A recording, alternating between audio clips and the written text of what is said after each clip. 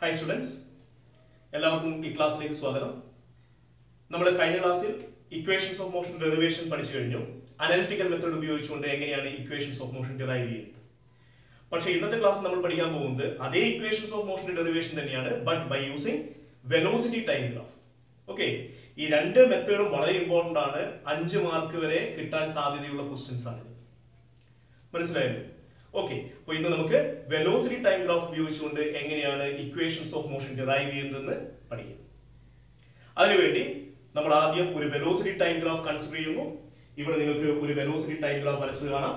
X ആക്സിസിൽ ടൈമും Y ആക്സിസിൽ വെലോസിറ്റിയും എടുത്തുകൊണ്ടാണ് നമ്മൾ വരയ്ക്കുന്നത്. ഓക്കെ പക്ഷെ ഇവിടെ ഒരു ക്വസ്റ്റ്യൻ ഉണ്ട്. ഏത് വെലോസിറ്റി ടൈം ഗ്രാഫാണ് നമ്മൾ ഉപയോഗിക്കേണ്ടത്? പല ടൈപ്പ് വെലോസിറ്റി ടൈം ഗ്രാഫ് നമ്മൾ പഠിച്ചു കഴിഞ്ഞതാണ്. ഇവിടെ ഈ ഇക്വേഷൻസ് നമ്മൾ ഡിറൈവ് ചെയ്യുന്നത് യൂണിഫോംലി ആക്സലറേറ്റഡ് മോഷന്റെ കേസിലാണ് യൂണിഫോംലി ആക്സലറേറ്റഡ് മോഷന്റെ കേസിലായതുകൊണ്ട് തന്നെ നമ്മൾ ഉപയോഗിക്കുന്ന വെലോസിറ്റി ടൈം ഗ്രാഫും യൂണിഫോംലി ആക്സലറേറ്റഡ് മോഷന്റെ ഗ്രാഫ് തന്നെയായിരിക്കണം. നമുക്കറിയാം in the case of uniformly accelerated motion velocity time graph is a straight line incline to time axis with positive slope അല്ലേ? അപ്പൊ ഇവിടെ നമുക്ക് നോക്കാം. ഇവിടെ നിങ്ങൾക്ക് തന്നിരിക്കുന്ന ഗ്രാഫ് ഒരു സ്ട്രെയിറ്റ് ലൈൻ ഗ്രാഫ് ആണ് and it is incline to time axis and it has what a positive slope മനസ്സിലായില്ലേ? അപ്പൊ ഈ ഗ്രാഫ് ഉപയോഗിച്ചുകൊണ്ട് നമുക്ക് ഇക്വേഷൻ എന്ത് ചെയ്യാം? ഡിറൈവ് ചെയ്യാം. പക്ഷെ ഇക്വേഷൻ ഡിറൈവ് ചെയ്യുന്നതിന് മുന്നേ നമുക്ക് ഈ ഗ്രാഫിൽ കുറച്ച് പോയിന്റ്സ് മാർക്ക് ചെയ്യാറുണ്ട് കാരണം ഇക്വേഷൻസ് ഓഫ് മോഷനുമായി റിലേറ്റഡ് ആയിട്ടുള്ള ക്വാണ്ടിറ്റീസ് നമ്മൾ ഈ ഗ്രാഫിൽ മാർക്ക് ചെയ്യണം. അതിനുവേണ്ടി ഞാൻ ഇവിടെ രണ്ട് പോയിന്റുകൾ കൺസിഡർ ചെയ്യുന്നു എ ആൻഡ് ബി ഓക്കെ അതിനുശേഷം എയിൽ നിന്ന് ടൈം ആക്സിലേക്ക് ഒരു പെർപെൻഡിക്കുലർ വരക്കുന്നു. ആ പെർപെൻഡിക്കുലർ ടച്ച് ചെയ്യുന്ന പോയിന്റ് ഒ ആണ്. At that point the time is what zero അതിന് കറസ്പോണ്ടിങ് ആയിട്ട് വെലോസിറ്റി ആക്സിസിലുള്ള പോയിന്റ് ആണ് എ ഓക്കെ ആ പോയിന്റിൽ നിങ്ങൾക്ക് കിട്ടുന്നത് ഒരു വെലോസിറ്റിയുടെ വാല്യൂ ആണ്. At time T is equal to zero that is called initial velocity and is taken as U okay അതിനുശേഷം ബി എന്ന പോയിന്റിൽ നിന്ന് നമുക്ക് രണ്ട് പെർപെൻഡിക്കുലർ വരക്കാം. ഒന്ന് ടൈം ആക്സിലേക്കും ഒന്ന് വെലോസിറ്റി ആക്സിലേക്കും ടൈം ആക്സിസിൽ നിങ്ങൾക്ക് അത് ടച്ച് ചെയ്യുന്ന പോയിന്റിൽ ഒരു ടൈം മാർക്ക് ചെയ്യാം. ദാറ്റ് ഈസ് ടി ഓക്കെ അതിന് കറസ്പോണ്ടിങ് ആയിട്ട് വെലോസിറ്റി ആക്സിസിൽ നിങ്ങൾക്ക് ഒരു വെലോസിറ്റി കിട്ടും. That is taken as V and that is the velocity corresponding to the time T okay that is the velocity after a time T that is called final velocity okay ഇനി നമ്മൾ എയിൽ നിന്ന് ഒരു line വരക്കുന്നു. Time ആക്സിന് parallel ആയിട്ട് അത് C എന്ന പോയിന്റ് ടച്ച് ചെയ്യുന്നു. അതുപോലെ തന്നെ ടൈം ആക്സിസിൽ ടച്ച് ചെയ്ത പോയിന്റ് ഞാൻ ഡി എന്ന് പേര് കൊടുക്കുന്നു. Okay so this is the graph here ഈ ഗ്രാഫ് ഉപയോഗിച്ചുകൊണ്ട് നമുക്ക് എന്ത് ചെയ്യാം? ഇക്വേഷൻസ് ഓഫ് മോഷൻ ഡിറൈവ് ചെയ്യാം. ഓക്കെ ആദ്യം നമ്മൾ ഡിറൈവ് ചെയ്യാൻ പോകുന്ന ഇക്വേഷൻ ആണ് velocity time relation that is V equal to U plus A T okay നമ്മൾ അനാലിറ്റിക്കൽ മെത്തേഡ് പഠിക്കുന്ന സമയത്ത് തന്നെ പറഞ്ഞു ആ ഇക്വേഷൻ ഡിറൈവ് ചെയ്യാൻ നമ്മൾ ഉപയോഗിക്കുന്ന കോൺസെപ്റ്റ് ആക്സലറേഷൻ കണ്ടുപിടിക്കുന്ന കോൺസെപ്റ്റ് ആണ്. ഓക്കെ ഇവിടെയും നമ്മൾ അതേ മെത്തേഡ് തന്നെയാണ് ഉപയോഗിക്കുന്നത് ആക്സലറേഷൻ തന്നെയാണ് ഇവിടെ കണ്ടുപിടിക്കുന്നത്. പക്ഷെ ഒരു ഡിഫറൻസ് എന്താണ്? ഇവിടെ വെലോസിറ്റി ടൈം ഗ്രാഫിൽ നിന്നാണ് നമ്മൾ ആക്സലറേഷൻ കണ്ടുപിടിക്കുന്നത്. നമുക്കറിയാം the slope of the velocity time graph gives acceleration. Velocity time ഗ്രാഫിൽ നിന്ന് എങ്ങനെയാണ് ആക്സലറേഷൻ കണ്ടുപിടിക്കുന്നത്? അതിന്റെ സ്ലോപ്പ് കണ്ടുപിടിച്ചാൽ മതി അല്ലേ? ഓക്കെ സ്ലോപ്പ് കണ്ടുപിടിക്കണമെങ്കിൽ നമ്മൾ ആദ്യം ഒരു ആംഗിൾ മാർക്ക് ചെയ്യണം. So here I'm marking an angle theta okay ഇതിൽ നമുക്ക് എന്ത് കണ്ടുപിടിക്കാം? സ്ലോപ്പ് കണ്ടുപിടിക്കാം. So slope of the velocity time graph is equal to tan theta okay slope tan തീറ്റയ്ക്ക് equal ആണ്. ഓക്കെ ടാൻ തീറ്റ എങ്ങനെയാണ് കണ്ടുപിടിക്കുന്നത്? We have the equation opposite side by adjacent side okay അപ്പൊ ഈ ഗ്രാഫിൽ ഓപ്പോസിറ്റ് സൈഡ് ഏതാണ് adjacent side ഏതാണ് നമ്മൾ കണ്ടുപിടിക്കേണ്ടതായിട്ടുണ്ട്.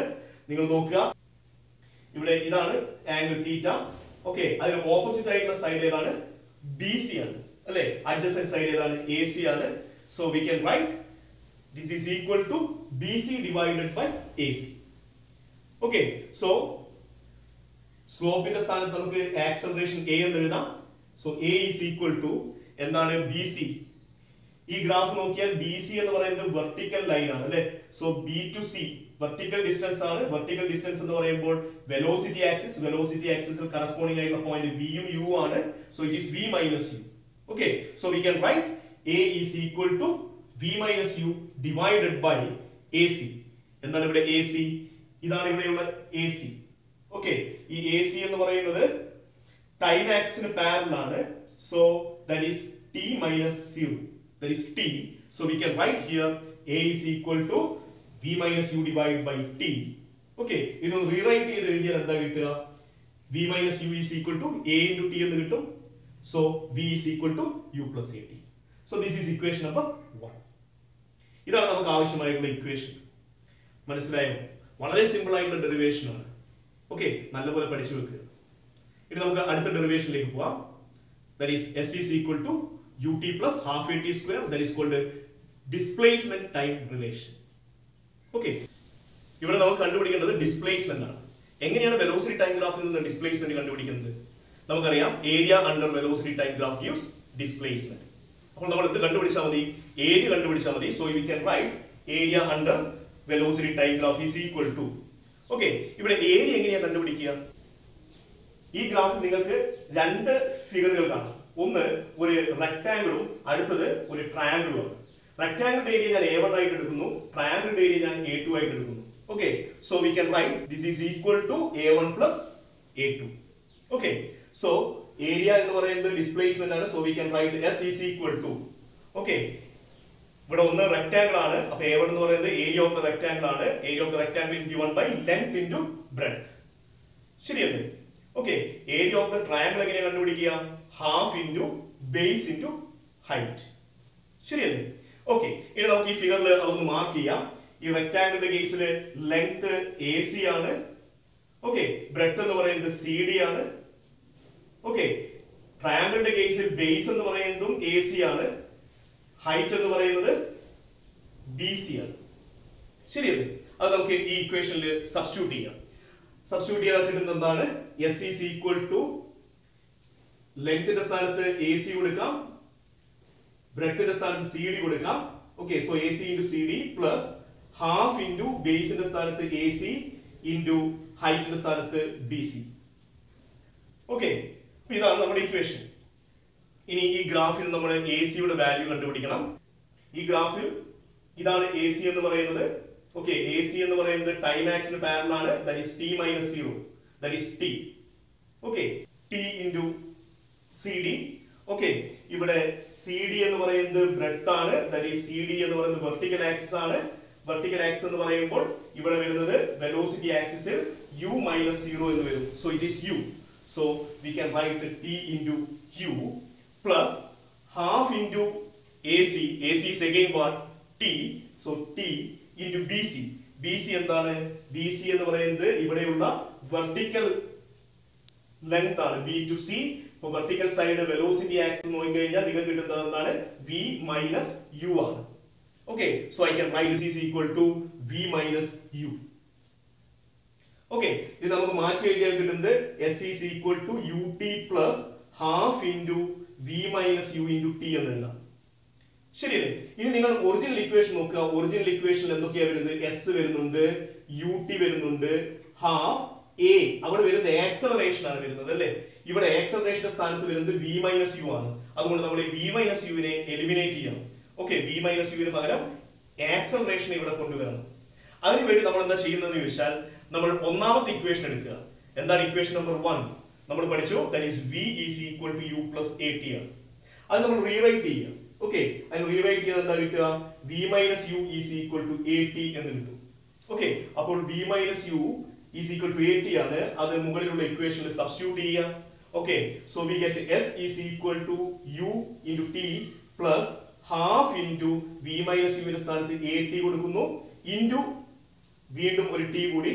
Okay ഇതിനെ മാറ്റി എഴുതിയാൽ S is equal to U T plus half A T square okay this is the required equation that is equation number two okay ഇതും വളരെ എളുപ്പത്തിൽ ഡിറൈവ് ചെയ്യാൻ പറ്റുന്ന ഒരു ഇക്വേഷൻ ആണ്. മനസ്സിലായോ? കൃത്യമായി പഠിച്ചു വെക്കുക. ഓക്കെ ഇത് നിങ്ങൾക്ക് രണ്ട് മാർക്കിന്റെ ഒരു ക്വസ്റ്റ്യൻ ആണ്. ഫസ്റ്റ് ഉള്ളത് ഒരു മാർക്കിന്റെ ക്വസ്റ്റ്യൻ ഇത് രണ്ട് മാർക്കിന്റെ ക്വസ്റ്റ്യൻ ഓക്കെ ഇനി നമുക്ക് അടുത്ത ഇക്വേഷൻ ഡിറൈവ് ചെയ്യാം. That is V square equal to U square plus two S that is displacement velocity relation okay അതിനുവേണ്ടി നമ്മൾ എടുക്കുന്നത് നേരത്തെ അതേ ഗ്രാഫ് തന്നെയാണ്. ഓക്കെ ഇവിടെയും നമ്മൾ കണ്ടുപിടിക്കേണ്ടത് എന്ത് തന്നെയാണ്? ഡിസ്പ്ലേസ്മെന്റ് തന്നെയാണ്. ഓക്കെ ഡിസ്പ്ലേസ്മെന്റ് കണ്ടുപിടിക്കാൻ നിങ്ങൾ എന്ത് തന്നെ എടുത്താൽ മതി. ഏരിയ തന്നെ കണ്ടുപിടിച്ചാൽ മതി. So I can write area under velocity time graph okay എങ്ങനെയാണ് ഏരിയ കണ്ടുപിടിക്കുക? നമ്മൾ നേരത്തെ ചെയ്തത് എന്താണ്?